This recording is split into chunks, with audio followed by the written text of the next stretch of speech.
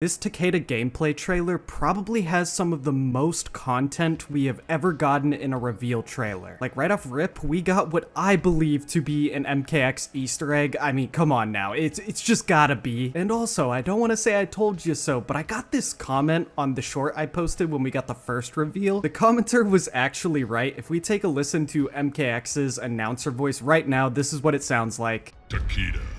The announcer says something more along the lines of Takeda. But then if we go to the end of this gameplay trailer, he says, Takeda. Definitely Takeda, which I think is the proper pronunciation. And I just thought it was funny. This has happened with multiple characters in the series and happens across multiple different announcer voices in the series. But I would like to start with the three Kameo buffs that we saw in this trailer. Sector is fairly obvious. The homing missile starts up much quicker. The time it takes from the missile to come out of Sector and then hit the opponent is much more rapid. It also shoots two homing missiles instead of one, which is really good because it denies armor in a lot of circumstances. Like there's multiple different situations where this would destroy armor. The first homing rocket and your move if you're applying pressure might hit and he might armor through it, but that second homing rocket or the third hit in the interaction will probably punish him for doing something like that. It also should make combos like this with Scorpion Sector a little more reliable. Notice how that comboed, so you could do it at the end. You know, I'm just doing something random right here, but it's a lot of damage. That was 40% and it wasn't even optimal. The issue it's always had though is you can't really do it on reaction. You kind of have to just do it in the middle of combos because you essentially have to call Sector out right as you're inputting the move, so you have no way of knowing if that move will hit or not. It does keep you safe in a lot of instances, but you can't use it as like a hit confirm. The next change we saw is that Cyrax is going to drop the destructing bomb no matter what. Even if he gets hit, he's going to throw that bomb on the ground. This one is interesting. It looks the least useful, while yes, it is going to be nice to just get the bomb down no matter what. It just seems like it could promote goofy gameplay gameplay, because as you know, this bomb right here will actually self-destruct me too if I'm near it. So having something that can hurt either opponent just kind of rolling around on the ground for, you know, no setup or anything. My hot take theory, though, on this move is that if the opponent hits you when you're setting up the Cyrax self-destruct, that bomb actually becomes a low, and I think that's fair because you, as the player using Cyrax, can't control if that happens. I just think it either needs to be a low hit, or if it's on the ground and not the one where Cyrax is holding it, it actually doesn't damage the person who used it. Frost is really interesting because that wall right there is an ambush ability, meaning at any point in the combo, you can just call out that wall. It creates a corner for you anywhere on screen, and it does synergize really well with Frost Kit. Because it's an ambush, we could say end a combo, I've already put up the wall, and there's those setups, you know, where I put this on screen. And the big issue that has is people just back up and run away from you until it disappears. With the wall, this mind game becomes incredible, because I can do stuff like this, right? So I get throw combos, and my opponent cannot back up out of that. But at the same time, if the opponent just tries to duck that throw combo, I can use a mid and get a full combo. And so not even armor is really safe. If I come in with something like this, knock him down, that all breaks armor. So it's really a just mind game on the opponent, kind of a 50-50, and if the opponent chooses to spend armor, they're only going to beat it if you try the grab option. Otherwise, yeah, it's just really hard for the opponent getting essentially cornered anywhere on screen, so making that Frost Wall an ambush move was excellent from NetherRealm. I think we'll see a lot more Frost after this update, because not only does her actual freeze and wall have an actual mind game to it now, she still gets the low for mix-ups, and stuff like these two moves, where this mid covers gaps, because now you can make your launching strings mid-mid, or just make any, you know, gap a mid. And this move, which is great against high armor attacks and sending the opponent back full screen. Now, let's watch the Takeda trailer. The first time, it's mostly going to be watching, I'm not going to pause it at all, and then afterwards we'll go through and break it down piece by piece. I always get flashbanged by the beginning of these trailers because of the all-white background. So sick. So sick. Your horns will look great on my wall. I think his voice actor is great too.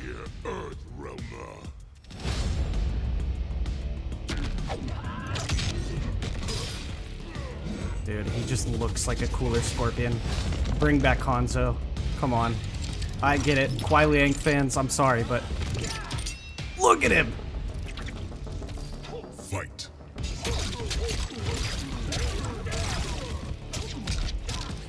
There was a lot there. Whew. Jacqui Briggs from MK11? Actually, that would be more air gas cabal. And a low.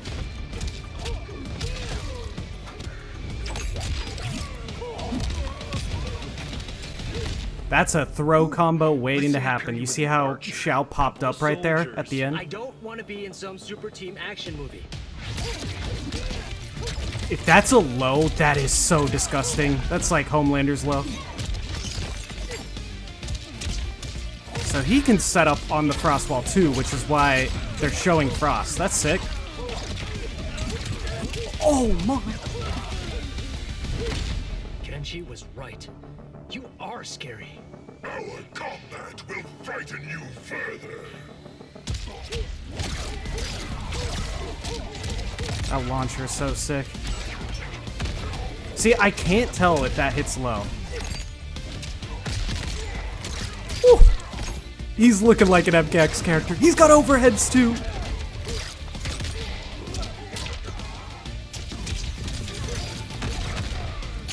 You see what I mean? Dude, his combos are insane! What?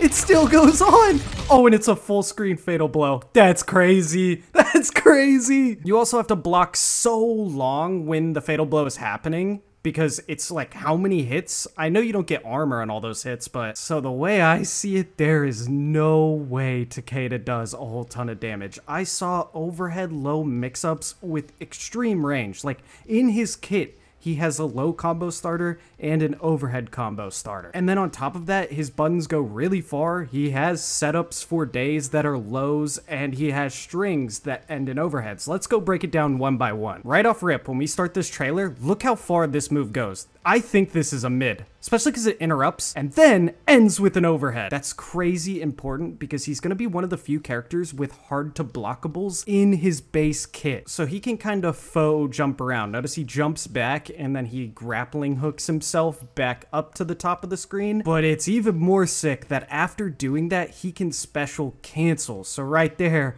Oh my, his zoning even. He's just to be a menace. You got to be scared anywhere on screen. Look at that. It's downward hitting covers a huge area when he lands that, so he fake jumps, then essentially punishes it with a downward aiming projectile. I'm gonna be honest on this one right here. If this is an overhead, right, it is over for people. I will never look back to Scorpion once. I'm already having my doubts, but Scorpion is getting a buff with the Takeda update to his enhanced teleport. It's just ridiculous. I feel like that's gotta be a mid for that kind of range, but if it's an overhead, that's... Yeah. As we see right here, he could chain together air attacks by using his upwards grappling hook, and he doesn't glow, so at least the first one is completely meterless when he does that. We'll see if he can do more of them in the same combo, and it might act like Omni-Man's, where after the first one being free, it costs meter for the rest of them. That's the non-amplified version, I think of the one that sets the three on the ground, and honestly, that's a really good move, even not amplified. We'll have to see what the recovery looks like, but he does seem like he moves pretty fast afterwards. Like, it kind of just makes Scorpion's ground flames look useless, because Scorpion takes so long to recover out of it. He gets punished for it unless you spend Kameo. The grab is important, because there's so many hits, which means there's a lot of options in terms of Kameos that can combo off that, but it also seems to favor Kameo Scorpion and others like that, like Janet Cage, because you get all the damage before you have to throw out your Kameo, because he launches up at the very end. This is what I mean. That looks to be a low starter. If the overhead looking ones we saw earlier, you essentially are 50-50'd in so many places on the screen, even if you've created space. But not only that, that teleport looks very suspiciously overhead. It might not be, but it also is dang near instant and he gets a full combo from it. Notice with this Frost setup, he meterlessly puts that down. So the metered version is obviously going to be better when you don't have a wall at the opponent's back and stuff like that. And notice he throws a second one to activate everything. But having a meterless mind game with certain Kameos is disgusting because again, he has overheads. That's how that move becomes workable, you know? So how are you going to guess there? You don't know what's coming at the end of that string. He could have finished that string we just saw instead of the low in one of the overhead moves that he has at the end of the strings that we saw at the beginning of the trailer. So not only does that move have insane knockdown when you don't amplify it and it works like a Scorpion Spear. Bruh, it might be better than Scorpion Spear. It full launches on Amplify, and this combo has been going on for forever.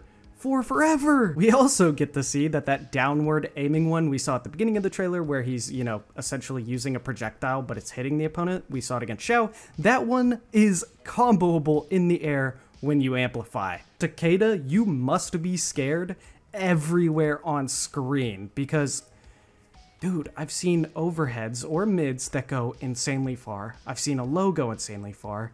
He's got teleport.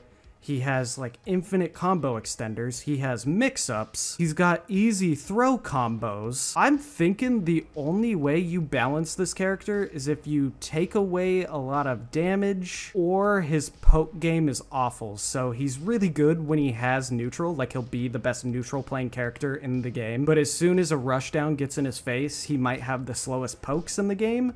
I, or the longest recovery on pokes in the game. I feel like that's the only way you balance him. I, I don't know. He looks really strong just right off rip. Like, I would call him top three if this kit is as good as it looks in a trailer. So that right there just continues into how his kit seems to be designed. It is super long. There are so many hits on it. It really feels like Baraka, except honestly, with all these moves I'm seeing, he has strings that are longer than Baraka's. I think this character will be hard to master, and I am a little concerned that a lot of these strings will be dial-in. Think of Mileena's mid, the forward 1, 4, 4, whatever it is. You have to dial in the whole string and then cancel in a very small window. You can't do, say, two of the buttons and then cancel to a special move. It's a dial in. At least that's what I'm guessing, because again, there are so many hits in all these combos. There we get to see the MKX smoke slide. Like 100%, I think that animation that he's sliding is like straight up ripped from Triborg Smoke in MKX.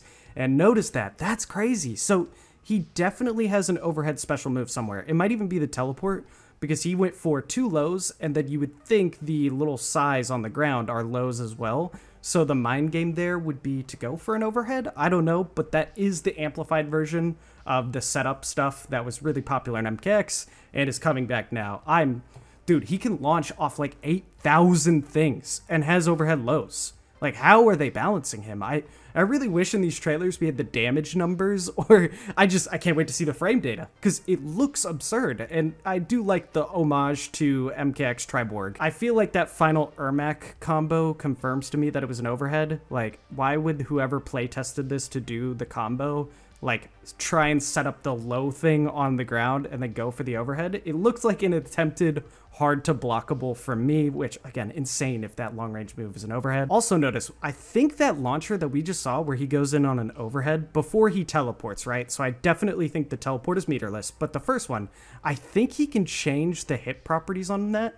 Notice that time he spent the bar again and it launched overhead. And the one we saw earlier in the trailer where he just launched the opponent into the air, it hit mid. Like that looks like a mid. So the overhead is probably extremely unsafe but you get the option to choose just the straight up mid, which will be lightly unsafe, has a different launch property and stuff like that. But yeah, I mean, again, I just keep looking at all these moves and I'm like, okay, yeah, the objective is to mix and also just play neutral the best in the game. I would say though, I think it is fairly balanced. It is really slow, as you could tell. Like, he's doing it in a combo, so it does not matter. But do you see how long he, like, spins in the air? I think NetherRealm have definitely seen that giving him kind of an instant overhead right there would have been too cheap. So I bet if you upblock that move, that special move in particular, you're going to punish. It might even just be punishable if you block it correctly. But yeah, like it's definitely not going to be something you're going to see on block a whole ton because the startup is insane. And just, yeah, I wouldn't worry too much about that one, but it is just cool to see more mix up options. Like meterlessly, when he throws the little setup size on the ground, I'm sorry, I don't really know what they're called. It's been forever since I played MKX, but when he throws them meterlessly, when the opponent's airborne in a combo, it launches for free. So he just gets like infinite meterless launches because of teleport and that. He gets in infinite launches in general. It's really, really cool. I think they're demonstrating that he can use the overhead ender of that string and not spend any bar to special cancel. So you get the overhead, right? And he could probably cancel into the low things on the ground. So it's a 50-50. And the way you would convert off that is using a Kameo like Sector to make that meterless 50-50 right there at the end. And then even if the opponent guesses right, the Sector missiles are going to be keeping you safe. That's kind of disgusting. This right here, this is a really like, it doesn't look like much, but impressive that, yeah, like this is giving you a reason to use Sector, and I'm sure there's other Kameos that do the same thing. So he also gets that overhead that we just talked about with the very long spin time in the air as well. So he launches from that, and he goes to the ground, but then immediately can teleport out of it and relaunch on the other side. So, yeah, and it doesn't look like these teleports are costing any bar for him.